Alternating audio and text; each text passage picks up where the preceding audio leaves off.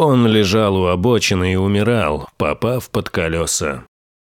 Этот пес попал под колеса на трассе Одесса-Николаев. Он чудом остался жив, но долго лежал, страдая от многочисленных травм. Ведь люди мимо не ходили, только проносились авто. Но один водитель заметил бедолагу, и он решил попробовать спасти животное, отправившись немедля к ветеринарам. Но ни в одной клинике в Николаеве пса не приняли. Здесь предлагали одно решение – усыпление.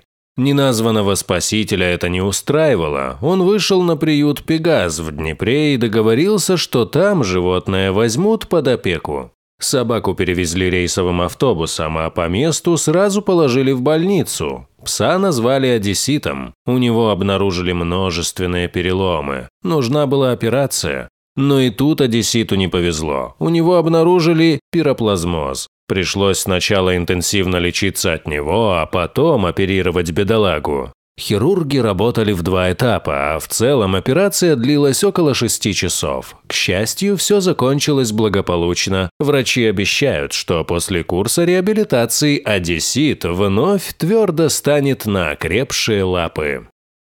Дорогие друзья, если вам понравилось видео, поставьте лайк, а также подписывайтесь на канал, где найдете еще много интересного.